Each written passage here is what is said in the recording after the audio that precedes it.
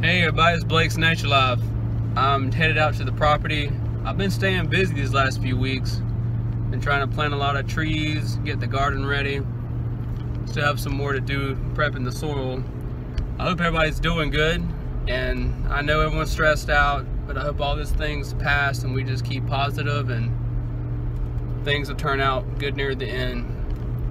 So I'm gonna show you some plants that are putting off all these new leaves different trees I planted and then uh, some grafts that I'll see I'll probably try to show you the ones out of the property.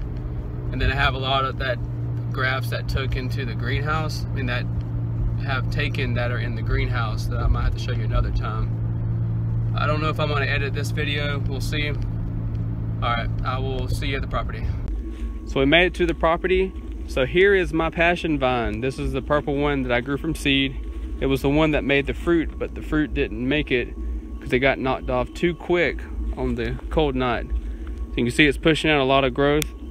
So this whole little section survived. And then the last two weeks, this is all the results of, uh, of growth. It looks very happy. I fertilized it. Let's look at some other plants. So I put a rootstock persimmon here, a big one, that I'm a multi-graft all types of persimmons on these branches. These came from another property. Uh, there's a big tree that was dying and its rootstock pushed out a lot of these runner roots. They make another trees, these make good for grafting. So you can see what I'm doing in the garden right now.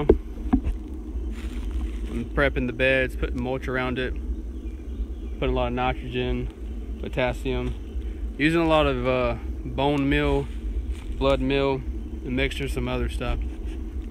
And then in the back, you can see all my collard greens. We'll see them on the other side. So let's walk over here.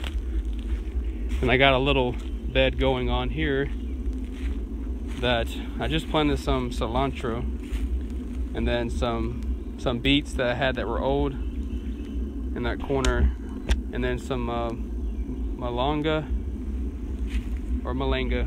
I call it both names. I think it's Malanga. I'm gonna grow some of them in here. That'll help. I put a lot of potassium. Uh, the bone meal really is good for root crops. It makes them the roots really big.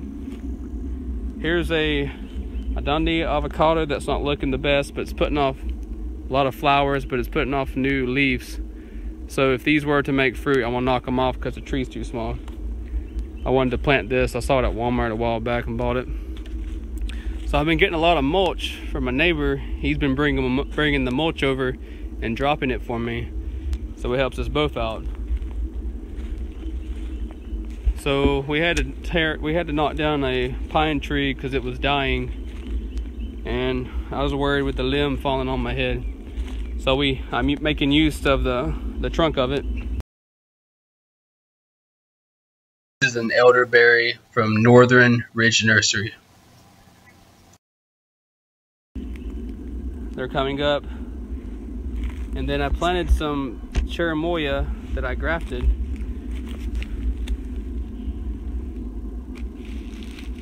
This is a honey heart variety and it looks like it took.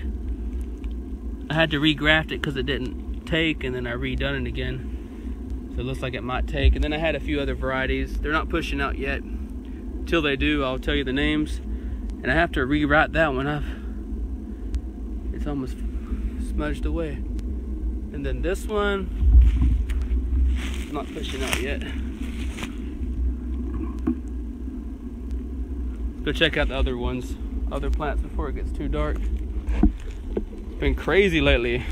How's everybody doing? All right, so look, we have some uh, castor oil beans or castor oil bean plants. Look at that.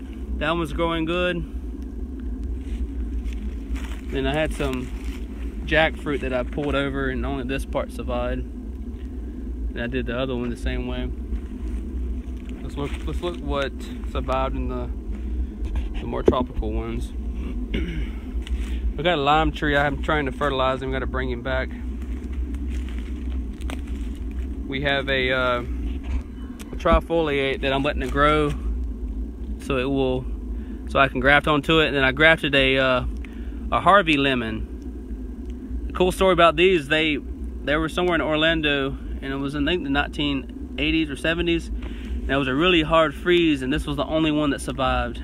They think it might have been like a seed grown mixed with something else, but it's a true lemon, and it tastes really good. So I did some cuttings. They do fine from cuttings too, but I figured let me just graft one on here. And if this if this one does take, I might still graft another variety. I might make this a multi-tree.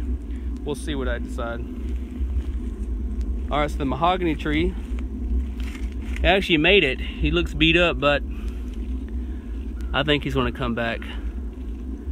I'll move a lot of these bricks off and stack them.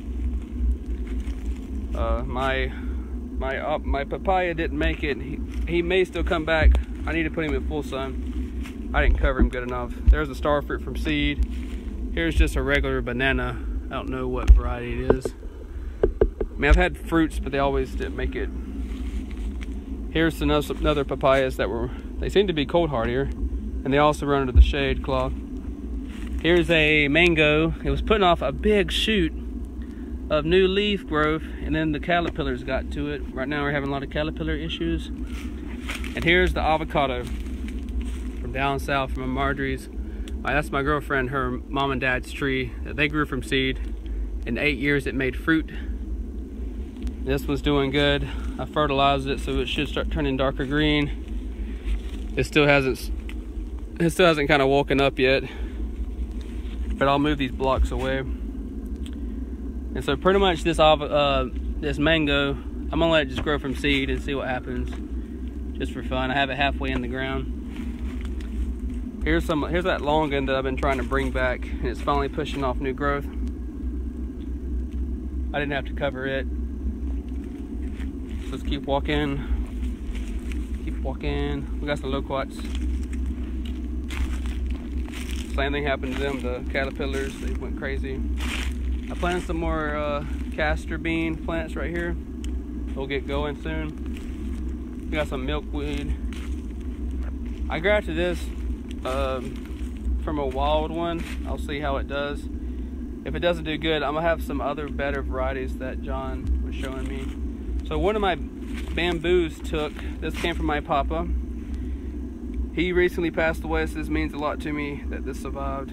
But he really disliked this one because it was really invasive, so that's why I kept it in a big container and I won't let it get out of control. But here's my pawpaw. It's pushing out. I'm hoping this top part that I grafted pushes pushes out. They call it mango because it's really nice size. It looks like it is pushing. Hang on, got lost. Looks like it might be pushing out the top bud. I'll keep checking on it. I hope it does, but it is pushing out from the original one. With pawpaws, it doesn't matter where you graft them at.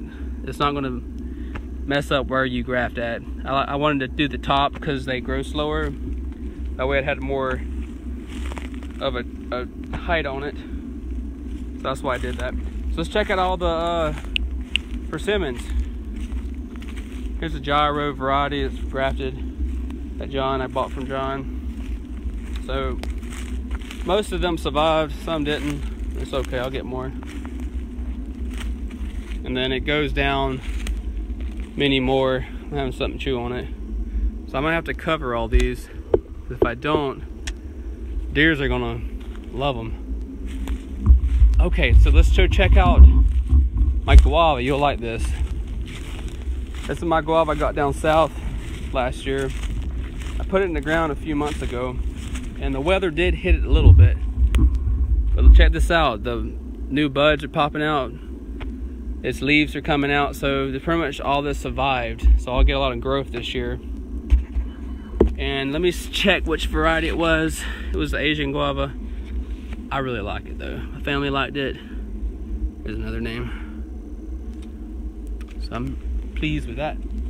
So I planted a uh, um, a citrus I never talked to you to you all about. The sweet Sugar Belle.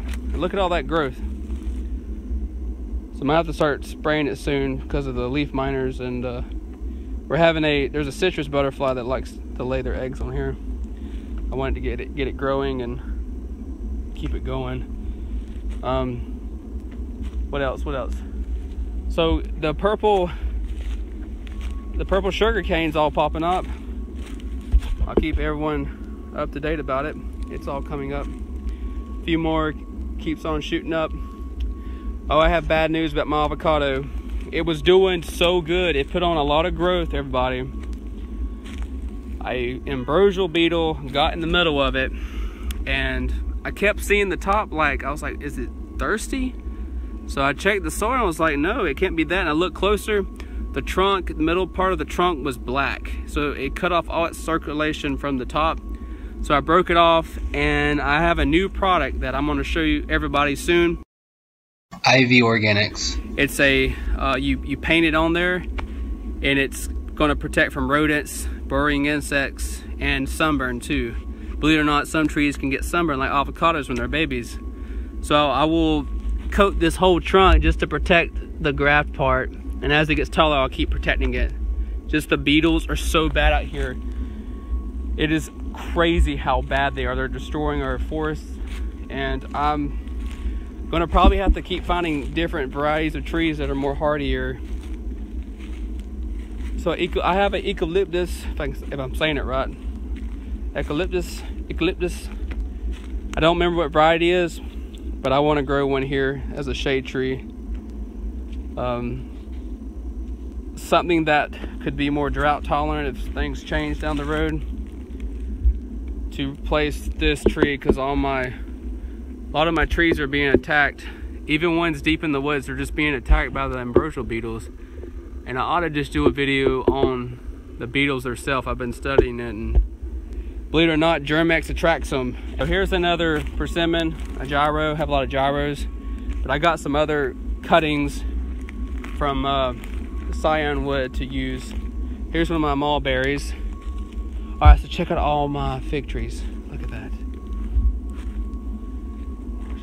think it's called a marshmallow. Probably calling it the wrong name. I got to look for the name. I've lost the, the tag. We have a Olympian fig that I can't wait to try. Right here is Olympian. See the, the leaf pattern is different. Then I grafted one from my friend's tree I pruned it a little bit. I want it to be more bushy. Looks like it it might take. And if it does, I'll just cut all these off and let one be that variety. And then I have this one that did take. So I know for a fact this will take. So as it keeps pushing out more, I'll come through here and just pinch it off and just knock them all the way off. Keep checking, keep going. Now this is a variety I do not know the name of but it has really tasty like yellow figs. And the insides are a little bit red. So I want to make more of these. But I got them down in Fernandina when I was doing a yard work job. Here's our olives. This is the ones you use for you know the oil. And uh and they're actually doing really good. I'm really happy with them some more. Some more. Look at that Oh, there's the there's my collard greens. Look at them. They're doing really good. We're putting some pipe work in for irrigation. Here's some more. This one's doing really good. Happy with it.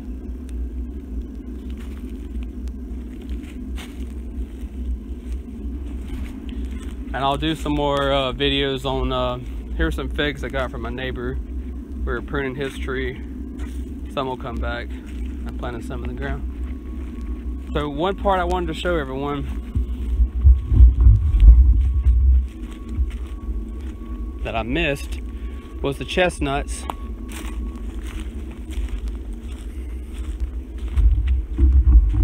Let's see. Okay.